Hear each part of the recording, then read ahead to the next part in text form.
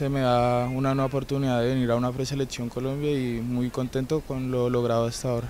¿Cómo llega eh, Eder al fútbol argentino y a un equipo grande como River? Y eh, jugaba acá en Colombia, jugaba en Bogotá en un club que se llama Academia Compensar. Eh, una vez me vieron jugando, así un veedor de jugadores, eh, me llevaron a probar, pero pues no, no iba con nada seguro, iba a probar en, en equipos del, del, fútbol argentino. Y gracias a Dios se me dio la, la, gran posibilidad y el gran privilegio de quedar ahí en River Plate. ¿Hace cuánto está en River?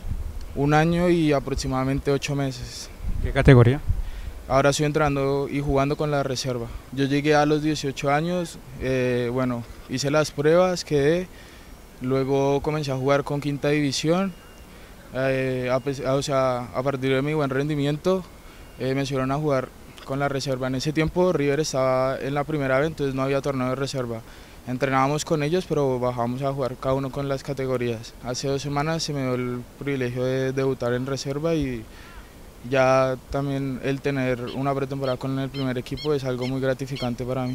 ¿Cómo se da su llamado a la selección? ¿Quién lo observa? ¿Cómo se da su venida a trabajar en estos microciclos? Y según lo que me contaron fue por el buen desempeño que tuve en la Copa Libertadores Sub-20.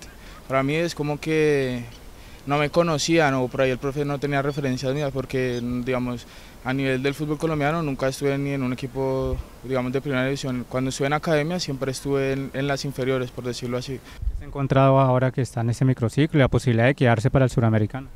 Y tenemos un buen grupo, es un grupo de buenos muchachos y digamos la base de, de, de la selección Colombia se está formando bien y pues esperamos tener un gran desempeño en el suramericano que es ahora en enero en Argentina. Han hablado de los rivales que se van a encontrar en el suramericano, Argentina, Chile, Bolivia, Paraguay. Y al que más conozco es Argentina porque pues eh, diariamente uno casi convive con los jugadores que pertenecen al seleccionado sub-20 argentino.